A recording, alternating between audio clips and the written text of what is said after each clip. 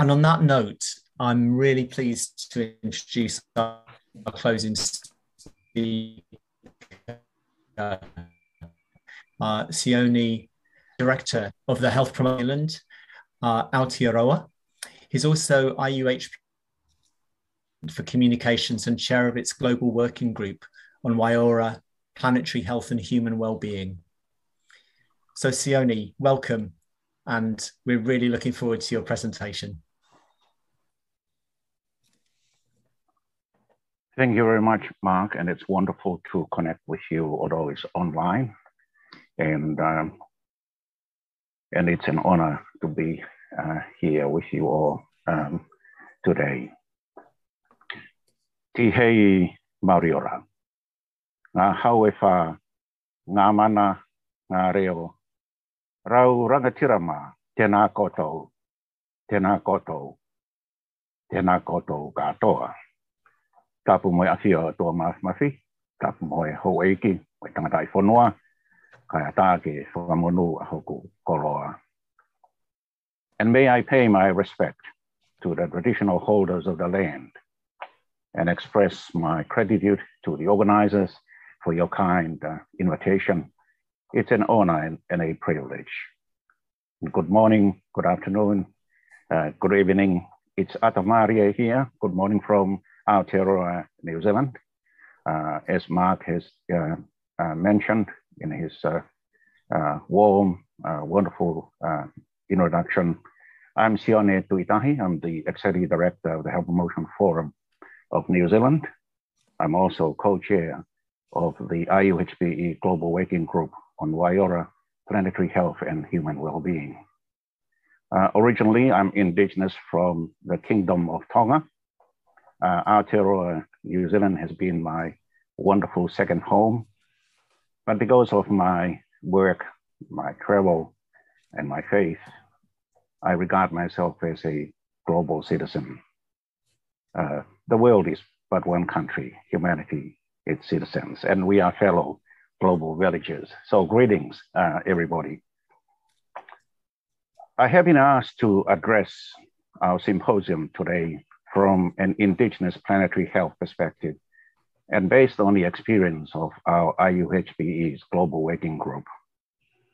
And uh, my sincere apologies if I repeat things that have been mentioned uh, already. But as you know, um, as teachers, fellow educators, we are in the business of sustaining the health of uh, planet Earth. So reusing, recycling, repeating is more than welcome. But also there's a, a, a wonderful story of a uh, well-educator and leader who visited Montreal, where our, our symposium being um, part of, um, and he was asked why he was repeating things.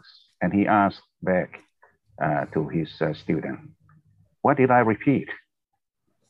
And the student said, let me have a think.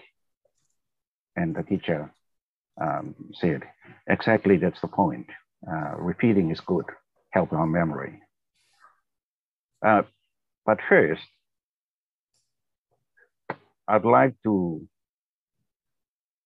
to acknowledge and honor the work and pay my respect to the wonderful and excellent work that has been shared with us um, already symposium, and it's years of hard work of uh, this network. I have a very minute claim to make that I made some very small contributions here in Aotearoa, New Zealand, uh, to our local chapter here in the response to the Okanagan um, Charter when it was launched uh, 2015. I also wish to pay my respects to those who have shared their basket of knowledge uh, before me. Uh, here in Aotearoa, we have a saying, uh, your basket of food and my basket of food, and together we will have a, a great feast. And if I may make an observation, you know, the words of uh, wisdom of the Okanagan Charter uh, makes it very clear that your group and our group are on the same um, journey on planetary health and also, as Matt said earlier, on indigenous knowledge and the well-being of Mother Nature. And while our indigenous approach to the well-being of Mother Nature has been a process of many decades, building on the wisdom of our ancestors in this part of the world. It started within the IUHPE family at the 2004 IUHPE World Conference in Australia. And we followed that through at the Vancouver 2007 conference of IUHPE. We reached a milestone with the co-hosting of the 2019 um, IUHPE World Conference here in Aotearoa, New Zealand, by our organization, the Health Promotion Forum of New Zealand, Runanga Whakatikiake i te Hawara o Aotearoa. And post-conference, we established our global working group on Waiora planetary health, which leads the ongoing development and implementation of the two legacy statements of the 2019 conference. And one of these uh, twin statements focuses specifically on indigenous perspectives on planetary health. Uh, we have made some good progress within IUHPE.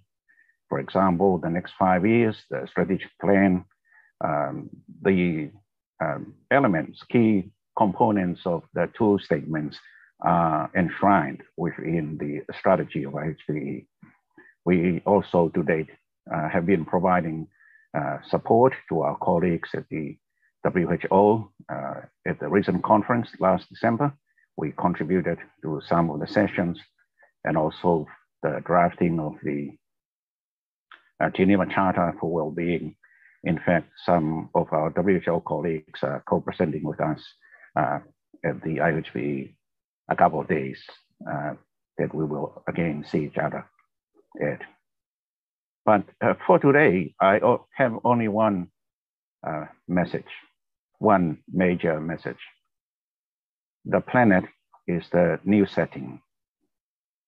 And therefore, we need to collaborate towards a transformational elevation of our collective consciousness and a shift towards a new paradigm. And this message echoes the, of course, the Ottawa Charter, the Okanagan Charter, the Geneva Charter of Wellbeing, of course, and the two legacy statements from Rotorua in 2019. And more broadly, it, ampli it amplifies other charters as well. Uh, the Sao Paulo Declaration, uh, 1992, there was the Agenda 21. In fact, we can go back some 50 years to the Limits of Growth report 50 years ago.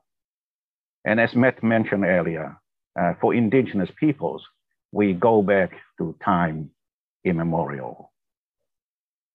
Our global working group on Waiora, planetary health, we understand planetary health as defined by the Lancet Commission 2015, and also with the two legacy statements that I mentioned before.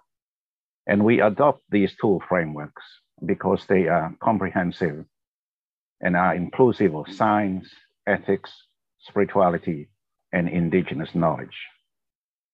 And as you know today, the convergence of global challenges, environmental catastrophes, economic crisis, geopolitical conflicts, just look at Ukraine, Yemen, Afghanistan, for example, and pandemics, illustrates very clearly that we are an inter interdependent one system, one human family, and we are inextricably one with Mother Nature.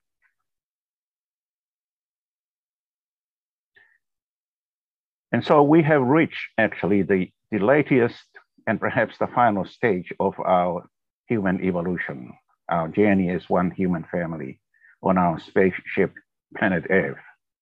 You know, we have come a long way from the local to the national and to the global and planetary stage uh, today. But yet, and still, we, we chain ourselves to the increasingly obsolete notion that sovereignty, sovereignty lies entirely within the state, when in fact, the state is an autonomous part and is part of the complete system, planet Earth.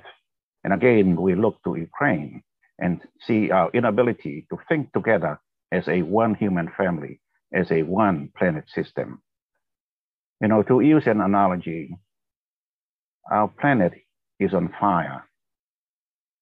We can no longer afford to focus entirely and only on our individual rooms. We must also raise our consciousness and work together to save our one home. We have to elevate our consciousness and, and followed by action, as has been discussed earlier by Monica and, and Mark and, and Matt. We need to raise our consciousness to the level where we deeply understand and deeply embrace that the earth is but one country and humanity its citizens. And for indigenous peoples, we have always seen life as one system, a relational, interconnected web. And we are one with Mother Nature. And when Mother Nature is healthy, uh, we mere mortals are healthy as well. And it's our notion of whenua ora or whenua ora, healthy planet, healthy people.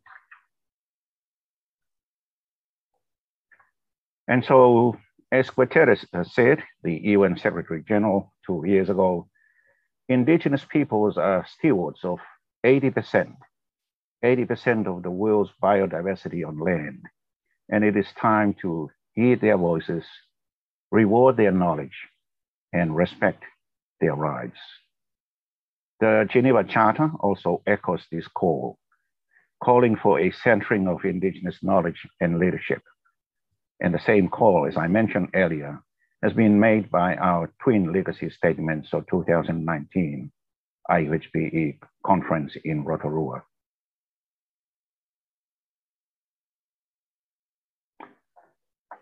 And so a, a big question then, what can centers for higher learning, universities, indigenous academies, faith-based hubs of knowledge and learning, what can we do? And so here are some uh, food for thought. Well, universities and other centers, you know, they can be leading protagonists of the advancing the new planetary setting and leading the paradigm shift. It is not just a mind shift. It is also, as indigenous peoples see it, it is also, more importantly, a heart shift. We can research objectively, look at the emerging and converging diverse knowledge systems around the world. There is science, there is knowledge of the East, the knowledge of the West, the knowledge from the South and the North, and of course, indigenous knowledge.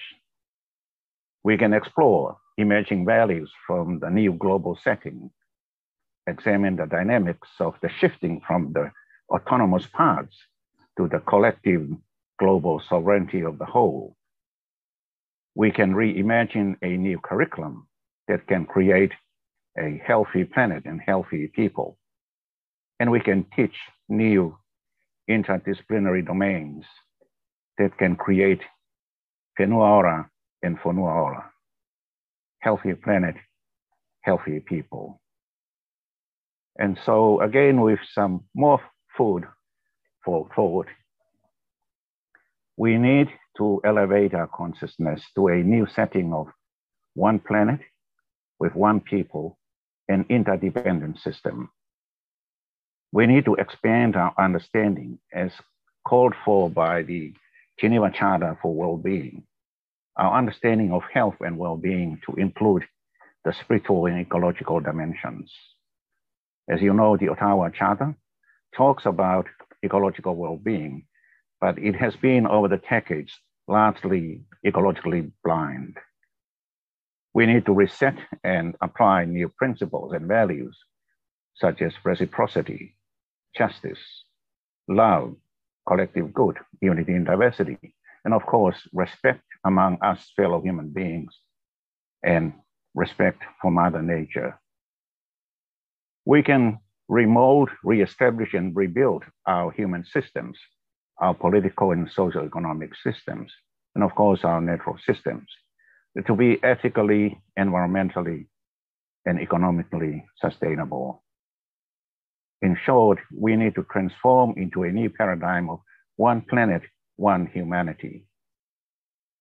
And this network has been a beacon and an exemplar of what we can lead and what we can do to co-lead and engage in a societal, societal movement that is multi-sectorial, as mentioned already, and multi-level. It is about the we, not the I anymore. It is about the whole, not just the part. And uh, to round up and to wrap up um, uh, this uh, brief address, um, uh, I'm delighted to share with you a beautiful picture of the Urewera. Some of you who um, came to uh, Aotearoa 2019 and participated at our conference there. Uh, you might recall uh, the leader of uh, Tūhoe, uh, one of our iwi here, indigenous peoples, Tamati Kruger, who spoke about the Urewera. It's their home, the home of Tūhoe people, famous for its lakes and forested beauty. Uh, it has, it became a legal person in 2014. Increasingly here in Aotearoa, we recognize and we honor the rights of Mother Nature. And, and finally, again, looking around what is happening to our fellow human beings in our one human family, uh, peace is what we need. Uh, peace with Mother Nature, as Guterres has called for, the defining task of the 21st century is to make peace with nature. And if I may add, first and foremost, we need to make peace with each other. And let me conclude with um, a word of wisdom from uh, the teacher and the same leader who visited Montreal 110 years ago, Abdul Baha. And he said, when a thought of war comes opposed by a stronger thought of peace. A thought of hatred must be destroyed by a more powerful thought of love. In the Ottawa Charter, peace is the first prerequisite, the first condition for health and well-being, the first determinant. It is echoed more strongly in the Geneva Charter for well-being. And with those few words, tēnā koutou, tēnā nara tātou katoa. Te ai malanga kai tawatu, malo e ma o e whainga maarie, and thank you again for the opportunity and the honor to share some thoughts with you. Thank you.